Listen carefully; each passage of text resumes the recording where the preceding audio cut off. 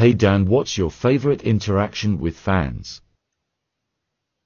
It's probably when they just post a video of themselves backlit so you can't see any of their face. You can just sort of see a little bit of their hair and they're chewing.